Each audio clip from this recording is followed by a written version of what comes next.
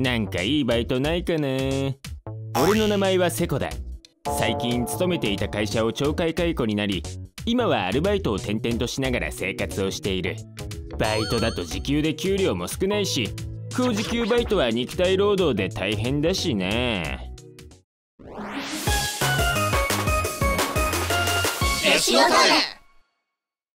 ん？ファーストフード店の夜勤募集？時給も深夜だから高いしなかなかいいかもしれないなそれにまかない付きか。食費が浮いてラッキーかも。早速俺はファーストフード店の面接を受けに行った。いや夜の人が急に辞めて困っていてね。えっとセコダくんいつから入れる？そうですね。面接は簡単に通った正社員の面接と違いその場で採用が言い渡され俺は翌日からファーストフード店で働くことになった。おはようございます。ああ君がセコダくん？よろしくね。よろしくお願いします。まあこの店夜は暇だからそんなに緊張しないでね。慣れたら一人で夜を回してもらうから。はい。社員さんの言う通り夜のファーストフード店は基本的にあまり人が来ない。イベントなどがあった日などは話が別らしいが基本的に夜は暇だ。そこはこうしてはい。仕事もあまり多くなく締め作業の流れを覚えてしまえば簡単だ。まあハンバーガーの作り方を覚えるのが少し大変だったけど全部似たような作りなのでそこまで大変じゃなかった。それじゃあ研修はこれくらいで。明日から一人で頼むよ。わかりました。何かわからないことやトラブルがあったら冷蔵庫にマニュアルが貼ってあるからそれを見て対応してね。はい。1ヶ月の研修を終えて俺はとうとう夜一人で勤務することになった。とは言っても夜9時から深夜2時までの5時間だこの店では一番人が来ない時間ともされているので大丈夫だろう。暇だな。深夜のファーストフード店は本当に静かだ。お客さんも1人から2人だしやることもそんなにない。暇なので俺はバックヤードでスマホをいじっていた。楽でいいな。他に従業員もいないし結構好き勝手できるし。そういえば社員の人が言ってたな。まかないなんだけど店のメニューから800円以内でお願いね。ちゃんとレジで処理もしておいてくれれば大丈夫だから。800円以内なら結構食べられるけど正直足りないなどうせ誰も見てないんだし800円以上食べても大丈夫じゃないか？なんてことを思った俺はその日800円以上のメニューをまかないで食べた。もちろんレジでの処理は800円分で行った。どうせバレないだろつまみ食い程度だしこの量を賄えるなんてな。毎食一食浮けばかなり節約になるぞ。最初はそんなことをしていたのだが俺はどんどんいい方法を思いついた。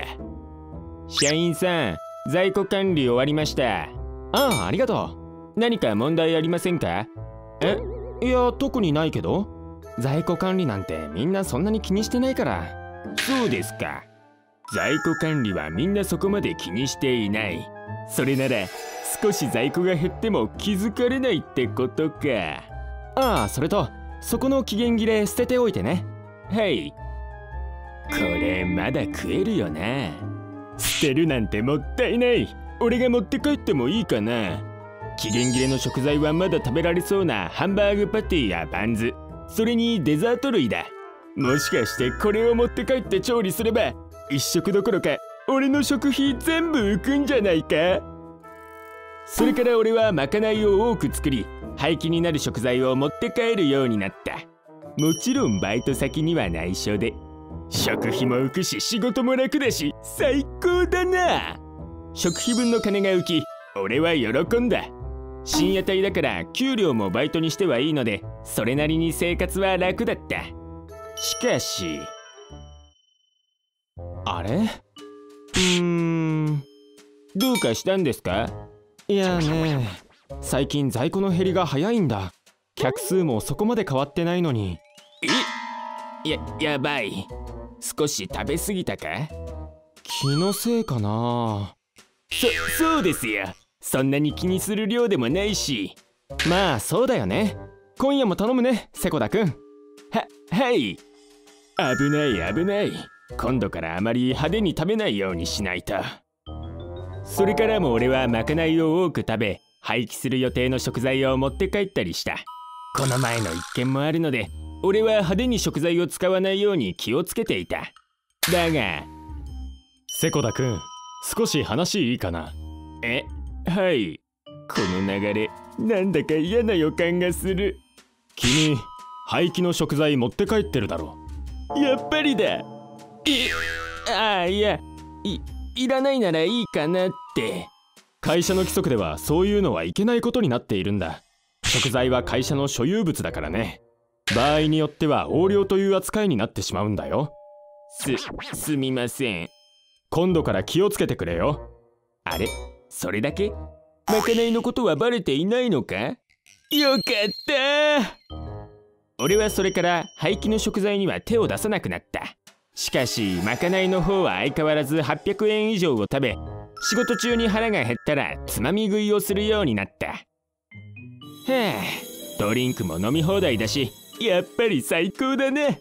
廃棄物を持ち帰れなくなった反動で俺は店で食べる量が増えていた。しかし俺はそんなことに気がつかず毎回店のものを食べていた。そんなことをしていれば自然に在庫は減っていく。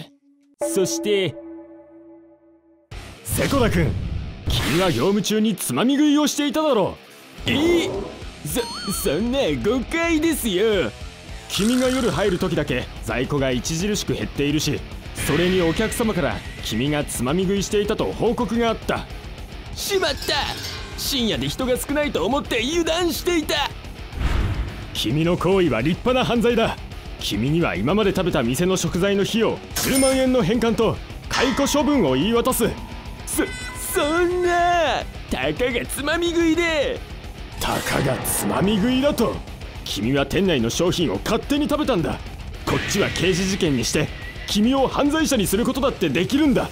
たかがつまみ食いだと思って甘く見るんじゃない。ごめんなさい。こうして俺はまたしても職場を解雇されてしまったはあまさか見られてたなんて新しいバイト先探さないとな今度はどこで働くか。辛い仕事は嫌だし。ここは時給がなま次もなんとかなるでしょ。ご視聴ありがとうございました。チャンネル登録高評価ぜひよろしくお願いいたします。コメントもぜひ残していただければ嬉しいです。